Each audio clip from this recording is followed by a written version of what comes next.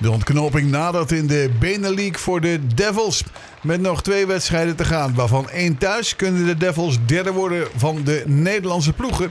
En zo een plek bemachtigen in de halve finale van de Final Four. Het vertrouwen is weer terug in Nijmegen na een 5-0 overwinning op Den Bosch afgelopen wedstrijd. Devils ontvangt om half negen in eigen huis de Phantoms die terug te vinden zijn op de tiende plaats van de Benelink.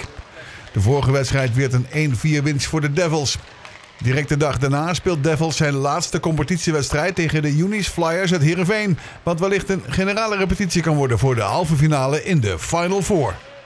Ja, goed, voor ons nog wel een belangrijke wedstrijd om gewoon in ieder geval die derde plaats veilig te stellen. We, om, eh, ik geloof dat we twee punten nodig hebben om dat zeker eh, vast te stellen.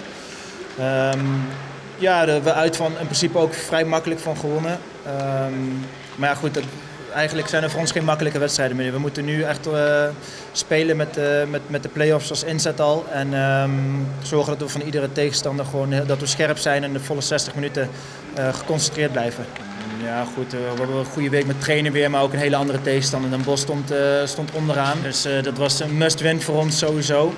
En uiteindelijk hebben we daar gewoon heel zakelijk gewonnen. En, ja, dan kan de score moet eigenlijk nog wat verder oplopen, maar winst is winst op dat moment. Ik denk dat wij, eh, als we derde worden onder de Nederlandse ploegen, ehm, dan spelen we tegen Herenveen ik denk dat het voor ons wel een voordeel is. Die ploeg ligt ons wel goed. Eh, die zijn op het moment ook niet in topvorm. Wel een hele sterke ploeg hoor. Maar uh, ik denk als we kunnen kiezen tussen Den Haag en Heerenveen... dat wij uh, in de halve finale het beste Heerenveen kunnen treffen. En dan met winst of Den Haag of Geleen in de finale tegenkomen. Ja, we praten aan het eind van het seizoen. Wordt er wat meer ges gesproken in de groep over belangrijke momenten. hoe je daarmee om moet gaan. wat we met trainingen wat meer verwacht wordt van elkaar.